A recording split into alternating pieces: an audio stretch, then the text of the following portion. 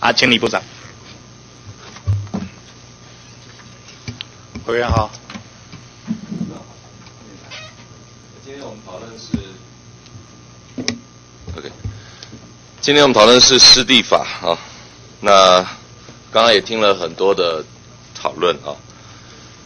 那我在想，您的版本明天会提出来？明天出内政部。出明天会出内政部了哈。对。那但是有些呃学界啊，或者是这个社运界，也多多少少对内政部的版本。有点了解我们事实上跟很多委员都沟通过了。对，那你刚刚提的啊，我我就你的话来请教你啊。是。你说会比今天我们在讨论的这个版本更严格的部分，你刚刚提了好几次啊。对。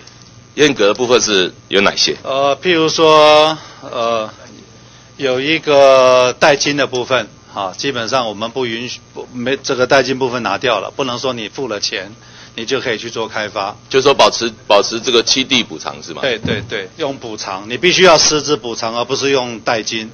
另外一个说，我们把那一条严重污染，就是说你的退场机制里面，这个我原来有一条就是说，你要是遭受严重污染，你就可以退场。我们把那严重污染的也拿掉了，我们很非要防止人家说我为了要让你退场，所以我就故意把它污染掉。我相信我们事实上是很很很认真的在执行面上面来来做这件事情，这就是你说的比较严格的部分。这两个比较严格，还有没有哪地方？呃，跟委员报告，就是在七地补偿的部分呢，它是我们在院板里面，它是永远就不得开花。就就是如果要做到生态补偿，用七地补偿的方式的话，这一部分是。我们少许跟这个林委员的版本是有一点。现在现在也问一下哈，既然你说比较严格，那关于土地使用的方式啊，现在现在我们提这边这边在讨论版本是说公有的土地哈，除了比较简易的设施，刚刚李俊义委员也提到啊，其实大家很担心的啊，比如说你可能为了说，哎，这是一个生态教育啊，结果缆车旁边盖了一个盖了一个旅馆。啊，然后为了这个生态研习营，因为晚上要住宿，啊，那么这样的一个开发可能会变成是一个漏洞。那我想要了解，现在民间大家提的说土地是要简易设施以外，那么禁止开发。但是我刚刚我其实看到部长啊，在有的场合接受访问的时候，嗯，你说中国现在有些地方利用这个这个这个湿地啊，利用的广告房那个房地产结合。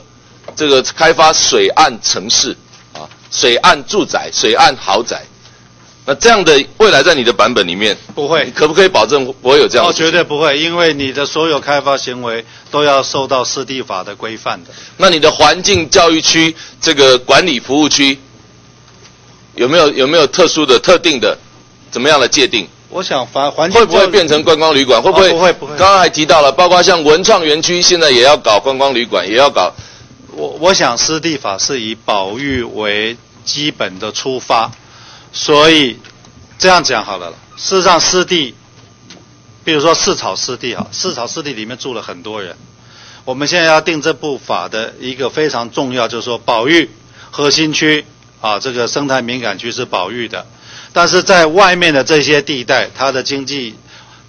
现有的经济行为必须要受到保障，我想这个执法上面是有困难，但是你说会不会鼓励他去做，不是允许他去做豪宅、做旅馆、做观光饭店？我想这个法是会禁止他的。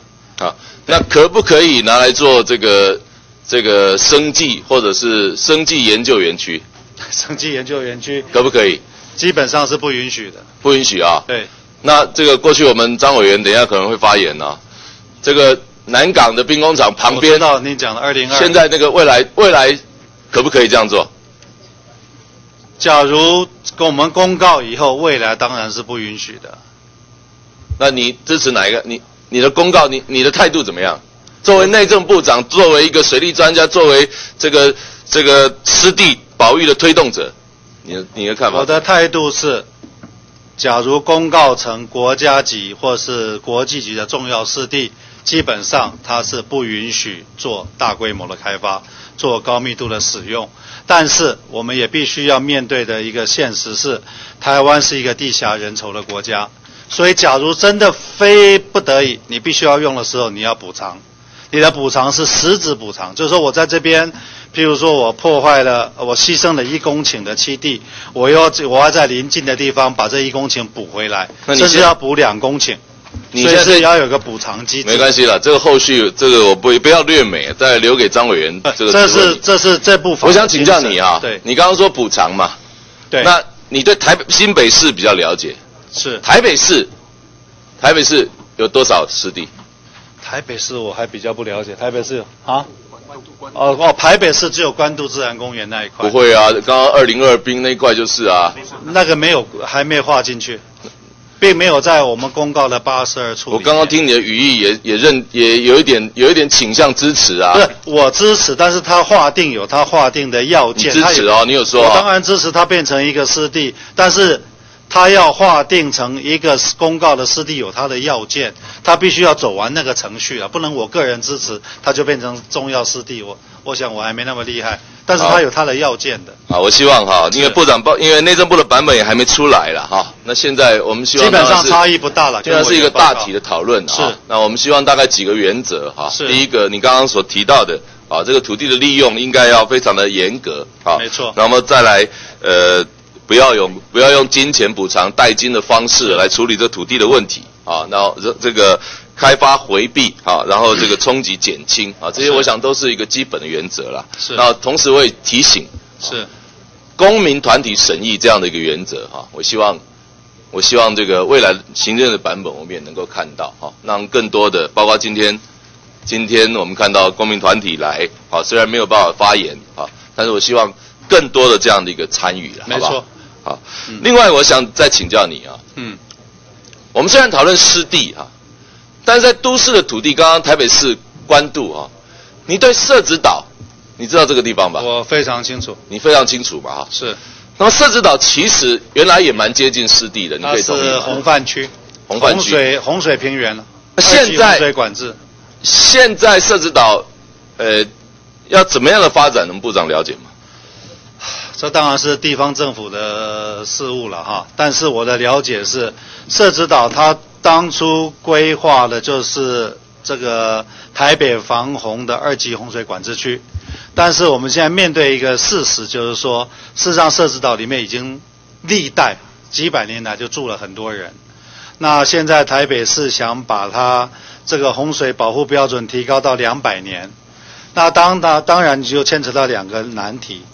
你要签，你要把它提高到两百年，你要解除它二级洪水管制。不过我必须跟委员报告，这是经济部的的执掌啊，只是我把我的专业的了解跟您说这，它要提高到但是但是未来应该还要送这个台北市那个台北市要送内政部都市审议吧？呃，他要送他的未来的规划，他要先送经济部的这个呃这个，这是防洪计划已经通过了，部长。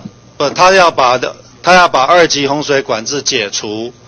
解除以后，我们内政部就会对他的土地的这个标的做一个重新的检讨。你赞不赞他他们是上位计划，OK，没关系。对，你赞不赞成这个一个观念哈？是我们今天我们今天讨论湿地啊，对，你赞不赞成未来都市的发展也是朝向雨水共存、这雨水共融这样的一个方式来其实我现在方向来发展？我已经指示我们营建署开始在谈的，就是在都市计划审议里面，你必须要把水的要件考虑进去。我们已经已经在修改我们的都市计划审议办法，所以我完全同意您的这说法。个这个今天这因为是湿地有点相关了哈，所以我希望内政部哈能够朝这样的一个方向，不管是把关，或者是能够带领这个新的啊我们都市计划或者都市审议、都市设计的一个方向。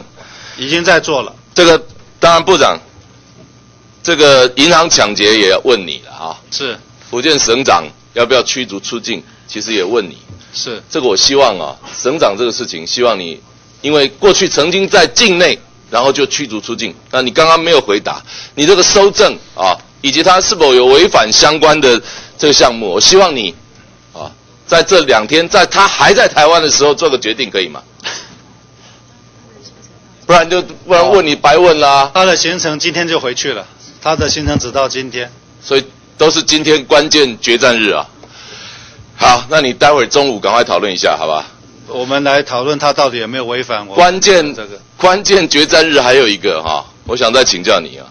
好，这士林文林苑，这跟我们都市更新也有关系啊。那么今天，呃，早上哈、当然台北市政府采取了这样的一些相关的动作。主席，我还有时间吗？啊，这口号够够共解了哈。是。这个事情你的态度怎么样？你你会不会你会不会期待说，你作为内政部长，你会不会期待说这个事情，呃，一方面那个多数的住户参与都更的这些人，他能够更快、更有效率的那个拿这个未来能够那个搬进他们都市更新之后新的家园，而拥有土地的这个两户王家，呃，他们对于自己祖先留下来的这个财产。呃，宪法所保障的这个生命跟财产权，他们也能够得到相当的保障，而台北市政府也不至于要去执行说这个全国第一件，这可能是全国第一件。我想要了解主管这个业务的部长、署长有什么看法？我想，当然你要都更，它有现行法令的所有规范。那我相信，我们有跟，事实上我们有来有有跟台北市政府开过几次协调会，而且在他们给我的资料里面，新加坡、香港、韩国、日本也都有这个强制执行的这个的这样的一个法律。那当然，我们也非常理解说，像这个王家嘛，哈，王先生他们不愿意做这件事情。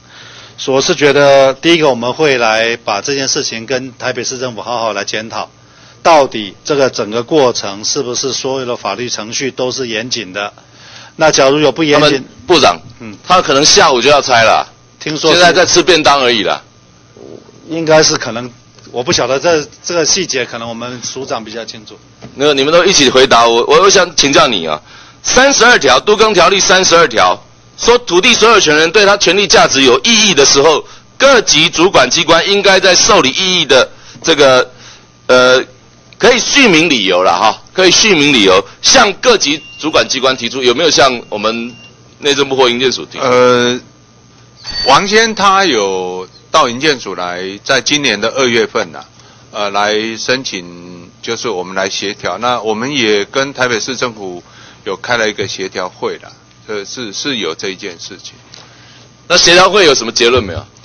协调会，那当然我们还是基于都市更新条例的主管机关的立场，呃，希望地方政府能够好好跟这个两个然后一个是呃实施者，还有一个是王家好好协调啊。我我们是希望这样。这个有个萨口萨口音娘嘛，创造三赢的条件有有没有可能啊？有没有可能？现在你、呃你也是专家，我们部长现在也是专跟我报家，告哦，那个创造三赢的条件，理论上是应该存在的啦。不过那个时机点哈、时机点好像是太慢了一点。是太慢。那有有什么方法？你能不能跟大家讲一下？呃，我我是说，我们如果在时间回到最前面了、这个王家到底要不要在范围里面？这个这个是可以讨论的。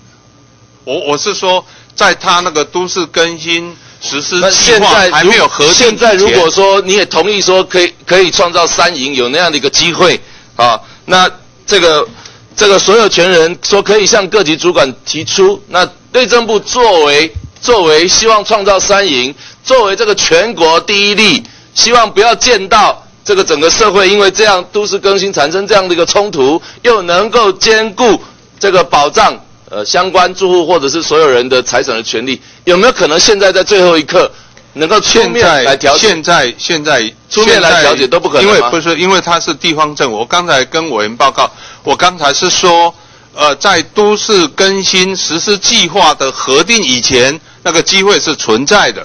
但是民国九十八年这个案子，呃，台北市政府是核定了哈，它是九十六年申请，九十八年在整个计划就核定。那你是说业主都没有来向我刚刚提的三十二条都没有向我们各级主管机关应该报告中它央吗？是在今年今年的二月，呃你给我多一点时间了哈。今年的二月份来来这个申请营建署来来协调，所以之前都没有。之前是没有。其实案子讨论那么久了啊、那如果如果还有一点点可能性了哈、真的我们真的是不愿意见到哈、因为这里面这里面其实看到这些法规，我们现在讨来可能复杂了啊，可能复杂。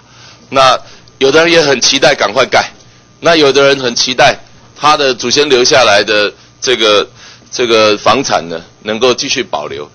好，那我们都更当然效率要快啊，我们其实对都更的效率非常的不满意啦，啊，所以我也没有要要求你说这个这个代为拆除这样的一个条有点修改，但是这中间很多的细节，我希望我希望待会我咨询之后了，我们部长署长讨论一下。这个全国的第一例，我希望能够展现，啊，展现我们内政部都市计划、都市更新主管机关，啊，你能够创造社会一个好的价值、好的典范，啊，好的方向，在最后的时刻，啊，能够看怎么样来亡羊补牢也好，那么要真的来创造三赢也好，好不好？不要。不要就是官僚说啊，你的你的不卡扎来供，你的时机错过了，你的不要这样了，好，不要这样，因为我看我看有那么多年轻的学子，昨天彻夜，啊，昨天彻夜在那里守护啊，有些有些基本的价值，啊，有些基本的价值，啊，不管是做民意代表，不管是做我们政府的官员，我们共同来守护了好不好？好谢谢。好谢谢。